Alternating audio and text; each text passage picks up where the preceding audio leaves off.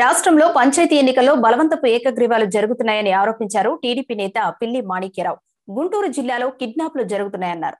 ఎక్కడ పడితే అక్కడ అక్రమాలకు పాల్పడుతున్నారని విమర్శించారు. దీనిపై ఎన్నికల సంఘం వెంటనే చర్యలు తీసుకోవాలన్నారు. ఇదే గుంటూరు జిల్లాలో మాచర్ల నియోజకవర్గంలో రామకృష్ణారెడ్డి సంబంధించినటువంటి వాళ్ళు కానివ్వండి ఆ ఏరియాలో ఉన్నటువంటి ఎమ్మెల్యే ఆధ్వర్యంలో వందకి వంద పర్సెంట్ పంచాయతీలు మొత్తం కూడా దౌర్జన్యంగా బలవంతపు ఏకగ్రీవాలు జరిగినటువంటి సంగతి కూడా మనం అందరం చూస్తూ ఉన్నాం. బలవంతపు ఏకగ్రీవాలు వందకి వంద పర్సెంట్ జరిగితే ఇది ఏ విధంగా జరిగిందని కనీసం ఒక్కరు కూడా ఆరా తీయకుండా తెలుగుదేశం పార్టీకి సంబంధించి అనేక పర్యాయాలు ఫిర్యాదులు ఇచ్చిన తర్వాత కూడా ఇప్పటికీ ఆ ఫిర్యాదుల మీద ఎటువంటి విచారణ జరగకుండా వాటిని ఏకగ్రీవంగా ప్రకటించేటువంటి పరిస్థితి కనపడతా ఉంది. వందకి వంద పర్సెంట్ ఏకగ్రీవాలు ఎలా జరుగుతాయని కనీసం విచారణ చేయరా?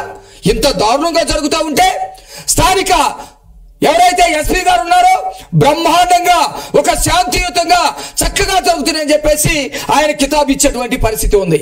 గుంటూరు జిల్లాలో మొత్తం అనేక చోట్ల చంపటాలు జరుగుతూ ఉన్నాయి. కిడ్నాపులు జరుగుతూ ఉన్నాయి.